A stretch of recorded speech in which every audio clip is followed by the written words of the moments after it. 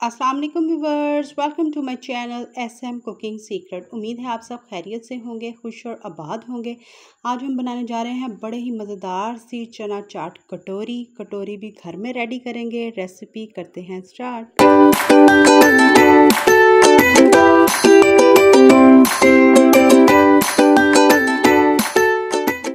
उसके लिए मैंने लिया है टू टेबल स्पून हमने लिया है बेसन का भरकर।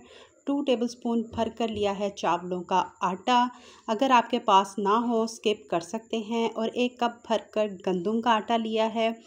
आप अपनी मर्ज़ी हो तो आप इसमें मैदा भी डाल सकते हैं। यहाँ पर नमक, अजवाइन, ज़ीरा और हल्दी इसमें शामिल करेंगे। तमाम के तमाम जो चीज़ें हैं, अपने अकॉर्डिंग कम या ज़्यादा आप कर सकते हैं।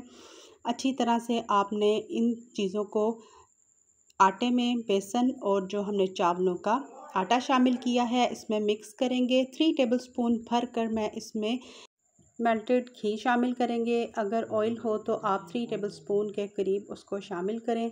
तमाम की तमाम चीज़ों को हाथों की मदद से अच्छी तरह से मिक्स कीजिएगा। हाथ आपके बिल्कुल साफ़ सुथरे होने चाहिए।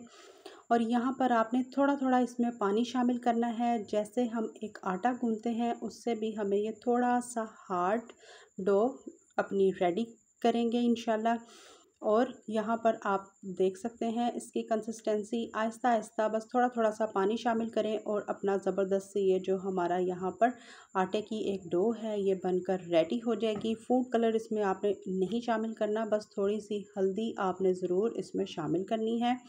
और यहाँ पर आप इसकी कंसिस्टेंसी भी चेक कर सकते हैं। जब आप इसी तरह से कोई भी बेकिंग का काम करें या कोई भी इसी तरह से स्नैक्स वगैरह बनाएँ जिसमें डो का काम हो तो आपने इसको जब भी गूंदना है तो आपने उसको कम अज़ कम 20 से 25 मिनट के लिए ज़रूर स्टे दीजिएगा। लाइक करें, शेयर करें, सब्सक्राइब करें, बेल आइकन का बटन ज़रूर प्रेस करें ताकि मेरी हर आने वाली नई रेसिपी आप तक सबसे पहले पहुँचे। अब यहाँ पर मैंने इसको एक यहाँ देख सकते हैं कि बॉल में निकाला, फिर इसको हम रैप करेंगे और यहाँ पर हमारे 25 मिनट गुज़र चुके हैं। अब यहाँ पर आपने क्या करना है कि कोई भी आपके पास इस तरह से छोटे छोटे से मोल्ड हों या आप अगर ये ना भी हो तो आप कटोरियाँ कैसे रेडी करेंगे कि ग्लास लें? ग्लास के जो आउटर साइड है, उसको आपने इसी तरह से ऑयल हल्का सा ग्रीस कर दीजिएगा। और ये जिस तरह मैं एक छोटा सा ये आप देख सकते हैं, यहाँ पर हम पेड़ा लेंगे और इसके अंदर मैं इसको इसी तरह से रफली रखूँगी। और ये प्रोसेस आपने गौर से देखना है सेम एज़ इट इज़ इसी प्रोसेस के साथ आपने ग्लास के जब ऊपर करेंगे कवरिंग तो इसी तरह से आपने करते जाना है तो वो भी एक ज़बरदस्त कटोरी बन जाएगी। जब ये तमाम के तमाम इसी तरह से ऊपर आ जाएँगे इसके किनारे तो फोक की मदद से इसी तरह से आपने इसको ज़रूर पुश कीजिएगा ताकि ये फूले ना और इसके अंदर एयर ना जाए।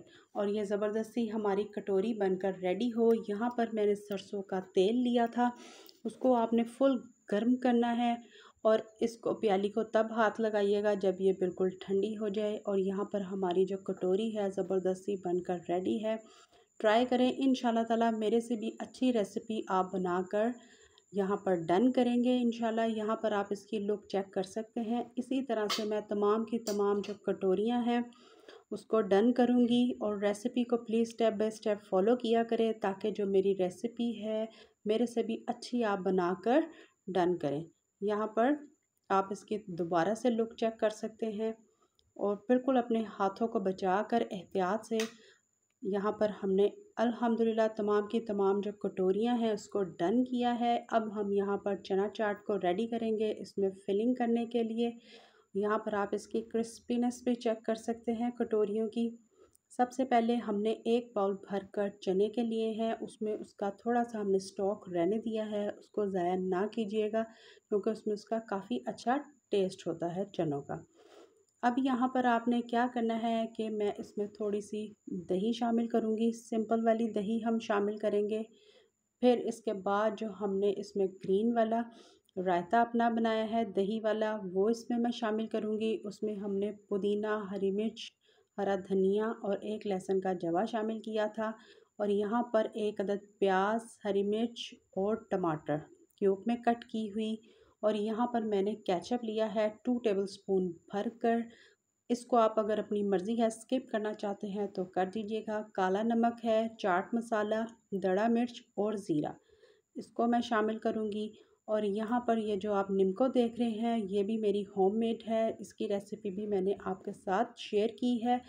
और अगर आप दोबारा से इसका रेसिपी को अगर ट्राई करना चाहते हैं तो मेरे चैनल पे आपको इजीली इसकी रेसिपी भी मिल जाएगी। अब इसको आपने तमाम की तमाम चीज़ों को अच्छी तरह से मिक्स करना है और ज़बरदस्त से जो हमारी चना चाट है, उसको इंजॉय करना है। अगर इस स्टेज पे आपको अगर इसमें आलू शामिल करना चाहते हैं तो बेशक वो भी कर दीजिएगा। और इसी कटोरियों में आप फ्रूट चाट भी इंजॉय कर सकते हैं, दही बड़ों को भी इंजॉय कर सकते हैं, चना चाट को भी इंजॉय कर सकते हैं। अपनी मर्ज़ी है, आप इसी तरह से कोई भी फिलिंग इसमें फ़िल करें और अपनी फैमिली मेंबर्स के साथ, अपने बच्चों के साथ और अपने गेस्ट वगैरह के साथ इंजॉय करें। मुझे मेरे बच्चों को स्पेशली हमारे कमाने वालों को दुआओं में ज़रूर शामिल किया करें, जो हमारे लिए इतनी मेहनत करके कमा कर लाते हैं। यहाँ पर आप इनकी फ़ाइनल लुक चेक कर सकते हैं कटोरियों की। और ये जितनी देखने में इंटरेस्टिंग और मज़ेदार लग रही हैं, खाने में कई ज़्यादा लाजवाब है। इसी तरह से मैं अब सिंपल सी दही हम इसके ऊपर इस तरह शामिल करेंगे। खूबसूरत सा गार्निशिंग कर दीजिएगा, जो आपका दिल करे। और इसी तरह से वन वन टीस्पून आपने इसके ऊपर जो ग्रीन चटनी है, उसको शामिल कर दें। कैचअप की जगह आप यहाँ पर इमली आलू बुखारे की जो चटनी है, उसको भी ऐड कर सकते हैं अगर आपके पास इजीली अवेलेबल है तो। नहीं है तो आप उसको भी स्किप कर दें, नो प्रॉब्लम। यहाँ पर तमाम की तमाम जो कटोरियाँ हैं, हमारी ज़बरदस्त सी बनकर रेडी हैं। सिर्फ़ कटोरियों की मेहनत है, बाकी तो जो चाट है, वो झटपट बन ही जाती है। थोड़ी देर की मेहनत है, अपने घर वालों के लिए ज़रूर किया करें, बच्चों के लिए ज़रूर किया करें, ताकि वो भी खुश रहें। और यहाँ पर आप इसकी फ़ाइनल लुक चेक करें। अल्हम्दुलिल्लाह, अब अगर आपको प्याज यहाँ पर स्किप करना चाहते हैं तो आप उसको भी कर सकते हैं। एंड पे जो हमने यहाँ पर जो उस दिन आपको ज़बरदस्त सी मैंने आलू से मज़ेदार सी निमको बनाने की रेसिपी बताई थी, उसके ऊपर इसको गार्निशिंग करें और मज़ेदार सी जो चना चाट है, क्रिस्पी क्रिस्पी इंजॉय करें। मुझे मेरी फैमिली को, स्पेशली कमाने वालों को दुआ में शामिल रखें। खुश रहें, खुश रखिएगा, दुआ में शामिल करें। इन ताला इसी तरह से मिलेंगे नेक्स्ट रेसिपी के साथ। तब तक के लिए अल्लाह हाफिज़।